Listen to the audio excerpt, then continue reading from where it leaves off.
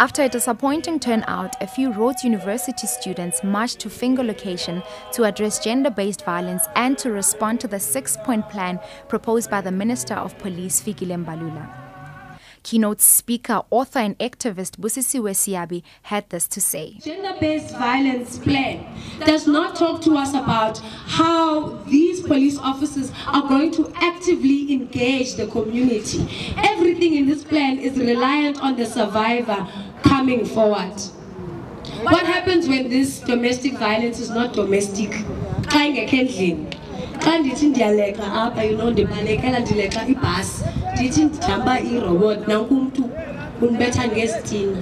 then what happens is that also considered to be violence against me as an individual who is engaging with the community where do the police then categorize me? Ndifike epolice station ndithi ndibethiwe bathi sisibethwa ngoba ndithandazi kuthiwa hayi ke xa ungazi wena sizawuzi njani thina.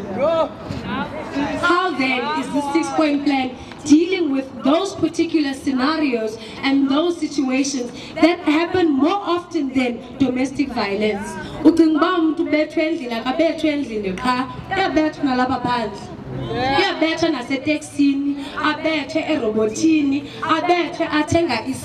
imagine you're there buying bread minding your own business in the morning. Someone decides that your body belongs to them that they can do what they see fit with your physical body.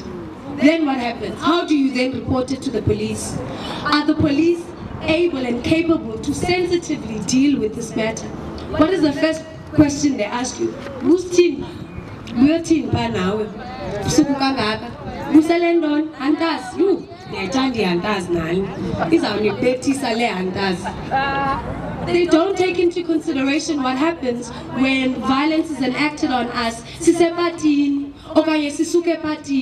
Because from that point of view you the survivor are the perpetrator.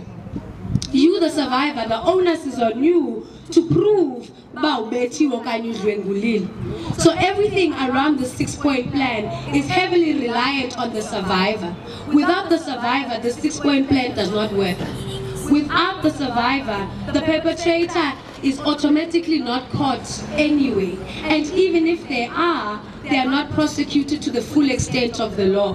The reason being the law does not have a full extent for gender-based violence we have an act, we have a gender-based, a domestic violence act, yes, but that act does not tell us what exactly is domestic violence. It's open-ended, and when something is open-ended, it is open to what? Manipulation. It is open to whoever is receiving your case and their interpretation of your scenario, and that is very problematic. This six-point plan does not talk to us about the thousands of people that flock into churches on a daily, right? Be it on Wednesday, Saturday, and Sunday. How are they conditioned within that church environment as well? What role does a church have in curbing gender-based violence? The six-point plan does not mention this. This is Ndibarini Nechiabera reporting for RPTV Grahamstown.